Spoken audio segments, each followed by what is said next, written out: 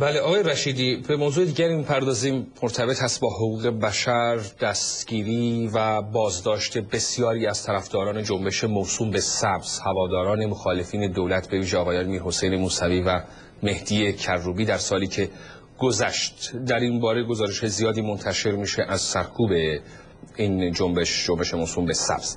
شما چه فکر می‌کنید؟ چه تحلیلی دارید از عمل کرد یا کارنامه یک سال گذشته مخالفین دولت در ایران. آنچه که موسوم به جنبش سبز در واقع از طیف های مختلف و افکار گوناگونی به وجود اومده تشکیل شده که اینا هر کدام برنامه و هدفی دارن. در به نظر من نمیشه به هیچ وجه فقط بگیم که جنبش سبز در چارچوب حکومت باید جدا کرد. اگر خیلی خلاصه بگم و اینجوری بخوام تشریح بکنم جنبش سبز جنبش سبز انتخاباتی به ویژه. اون که در چهارچوب حکومت در جهت رفرم در جهت یه رفرم های جزئی در جمهوری اسلامی ایران با معضلات و مشکلات بسیار همه جانبه روبرو شده که تمام نتایج اینو نشون میده که این رژیم ساختار پذیر نیست. در حالی که افرادی دیگر طیف های دیگری بودند که خواستار دگرگونی و تحولات عمیقی در پیوند با بهتر شدن حقوق بشر در جامعه هستند. کماکان ما شاهد اینیم که مبارزه مردم ایران در طول یک سال گذشته یا آنچه که موسوم به جنبش سبزه از طرف حکومت جمهوری اسلامی ایران و زمامداران حکومت اسلامی در کشور ما شدیداً سرکوب شده راه های قانونی راه های بسیار کوچک یا کمی که وجود داره در جامعه ایران طبق میکانیزم های قدرت طبق قانون جمهوری اسلامی ایران برای پیشبرد اهداف این مخالفین یا اپوزیسیون در واقع یا حتی اپوزیسیون درون حکومتی تمام این راه ها بسته شده. نتیجه اینه که من پیش بینی می‌کنم این جنبش و این اعتراضات گسترش پیدا می‌کنه و باری دیگر سر بلند می‌کنه رادیکالتر میشه.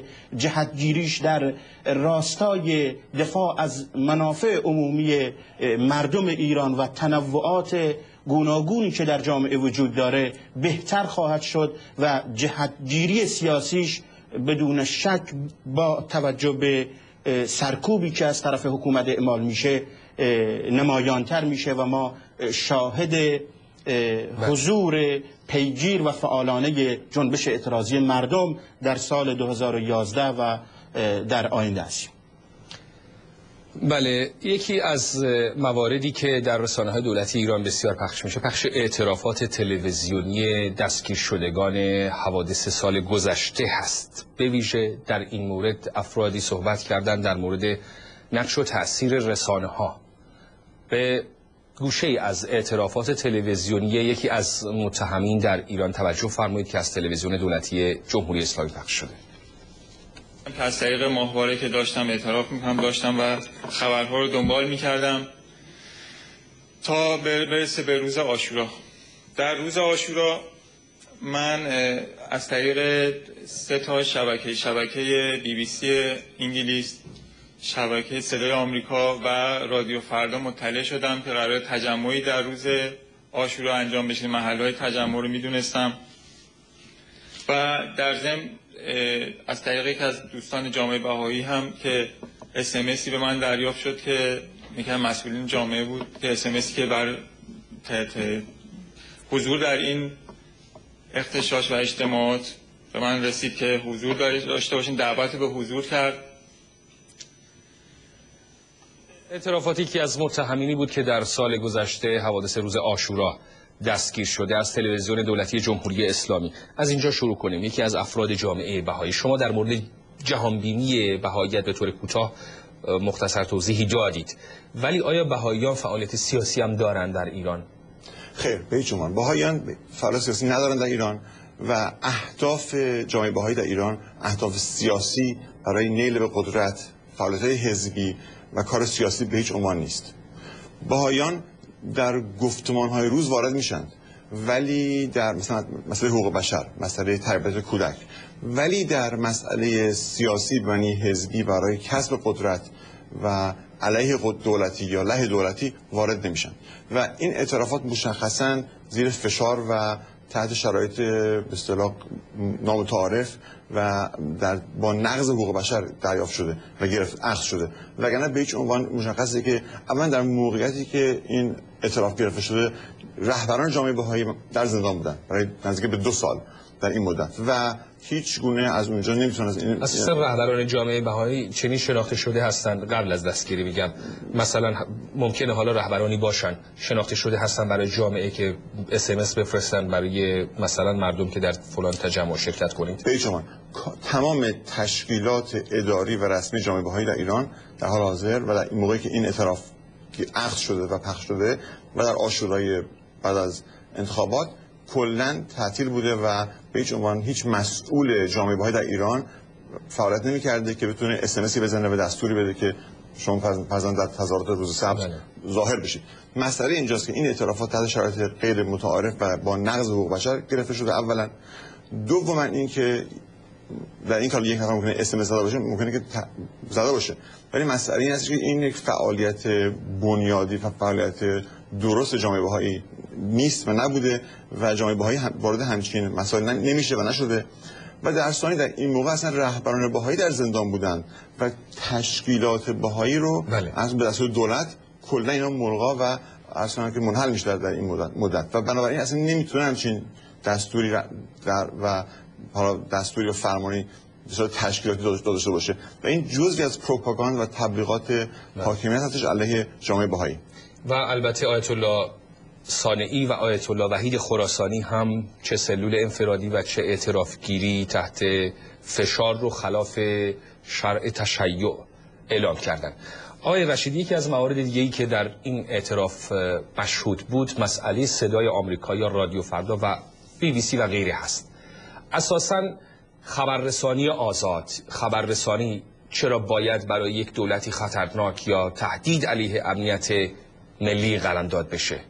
خیلی طبیعیه این در جوامع بسته و در جامعه ای که یه ایدئولوژی مشخص حاکمیت داره این یه ویروسه یه بسیار خطرناکه. چرا؟ چون سیستم دیکتاتوری از آزادی مطبوعات از اطلاعات از دسترسی توده های مردم به اطلاعات به طور مشخص میترسه وحشت داره. و خیلی قابل توجه این یه جوان بدون تردید نسل انقلابه. نسل بعد از حاکمیت جمهوری اسلامی ایرانه. زیر بمباران فکری و ایدئولوژی این رژیم پروبال گرفته بزرگ شده.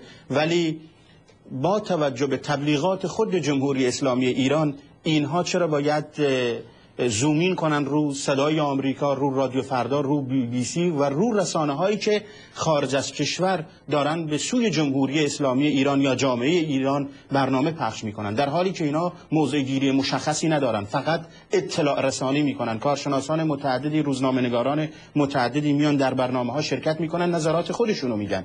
و اگر جمهوری اسلامی ایران می‌خواد این برنامه ها یا نتایج این برنامه ها را منتفی کنه در راستای منافع خودش باید به آزادی مطبوعات راه بده که مردم بتونن نفس بکشن بتونن حرف بزنن و این نشانگر این قابل واقعیت که تصوره که آزادی مطبوعات به هیچ وجه. به هیچ وجه. چون این در چارچوب فکری و ایدئولوژی سران رژیم جایگاهی نداره و اینها با رفتار خودشون با پراکتیزه کردن سیاست های خودشون در بطن اجتماع این واقعیت رو نشون دادن. و در همین راستاست اعترافات تلف... تلویزیونی یا اعترافات به زور زیر شکنجه از زندانیان تاریخچه دیرینی داره. در تمام سیستم های دیکتاتوری و ایدئولوژی اینجوریه. مثلا نمونه چین رو در نظر بگیریم. در قرن 21 اگر جمهوری اسلامی ایران وبلاگ ها و سایت های متعددی را فیلتر می‌کنه اونها علنا اعلام کردن که شرکت گوگل رو میبندن و بستن و این خدمات بزرگ جهانی در واقع امروز مردم یک میلیارد و 400 میلیون نخورده ای از جمعیت چین از استفاده کردن از این خدمات جهانی بی بهره در واقع بله. و رژیم های توتالیتر و جامعه بسته در تضادن با آزادی مطبوعات و وحشت دارن از دسترسی مردم به اطلاعات. بله و البته در مورد مهمونهای متعدد صدای آمریکا صحبت کردید. همه کارشناسانی که در برنامه های مختلف صدای آمریکا شرکت می کنند و نظرات و دیدگاه های خودشون رو مطرح می کنند لزوما نظرات و دیدگاه های صدای آمریکا محسوب نمیشه. بیننده برنامه تفسیر خبر از صدای آمریکا هستید. نگاه کرده اید در افق چه می‌بینید؟ در افق قدرت گفتگو را تجربه خواهید کرد.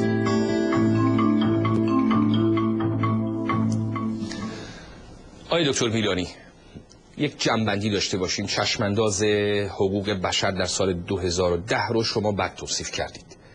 این روند اگر ادامه داشته باشه سال 2011 چه سالی خواهد بود برای حقوق بشر یا وضعیت حقوق بشر فکر می‌کنید بهبود پیدا خواهد کرد در ایران؟ متاسفانه خیر. روندهای کنونی حاکی بر این هستش که به هر حال این جریان بازداشت وبلاگ نویسا محروم کردن دانشجویان تحت فشار قرار دادن اقلیت های قومی و اقلیت دینی در ایران فشار بر روی طبقات سنفی و بازداشت روزنامه نگاران و بستن رسانه این روندها متاسفانه ادامه خواهد داشت. و من نمی بینم که این سال آینده سالی باشه که درش گروهی خردمند و گروهی واقعا با خرد اجتماعی وارد بشن بیان که نه این رفتارها و نقض حقوق بشرها اینها اعمالی غیر انسانی و اعمالی است که منافات داره با کرامت بشر. و اگر اینجوری بشه و گروهی از خود رژیم بر بخیزن و بگن که این دیگه بسه مثلا ما الان می‌خوایم که فضا رو باز کنیم روندها رو عوض کنیم این خب بسیار اقدام درست و خوب و پسندیده است ولی این به نظر من نمی‌رسه که الان در حال حاضر این قدرت هایی که تمام توان خودشون رو به دارن صرف می‌کنن که بله. قدرت و انحصار در دست خودشون نگه دارن اینها شاید که نخوان که و نمی‌خوان که این قدرت رو رها کنن و در نتیجه این وضعیت به نظر من متاسفانه ادامه خواهد داشت. شما چه تحلیل کوتاه چشمانداز پیش رو وضعیت حقوق بشر در سال آینده ایران گفتم؟ جمهوری اسلامی ایران تمام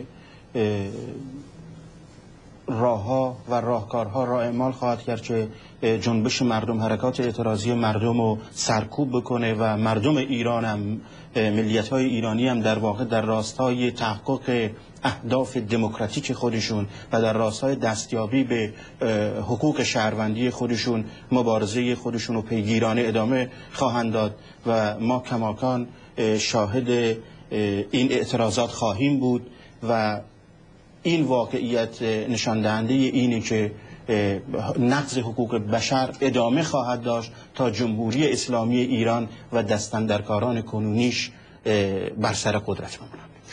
بله بسیار سپاسگزاریم از شما آقای رحیم رشیدی روزنامه نگار و آقای دکتر کاویان میلانی فعال حقوق بشر و همچنین از شما بینندگان و شنوندگان گرامی همراهان همیشگی برنامه تفسیر خبر. بار دیگر سال نو میلادی رو به شما شاد باش میدم تا برنامه دیگر بدرود همراه با بهترین شاد باشا